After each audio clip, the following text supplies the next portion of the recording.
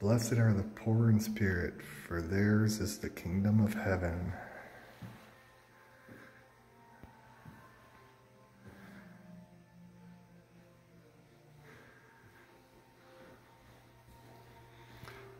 Blessed are the meek, for they shall inherit the earth.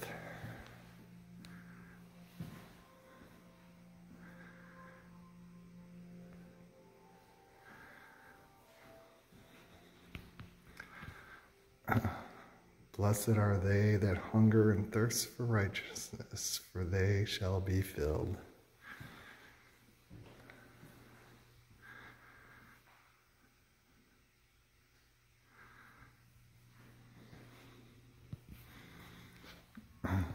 Blessed are the merciful, for they shall obtain mercy.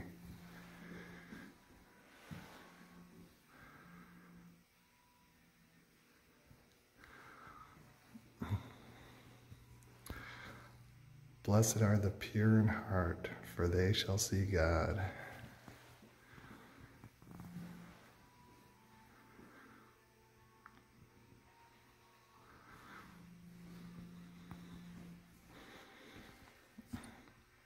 Blessed are they that mourn, for they shall be comforted.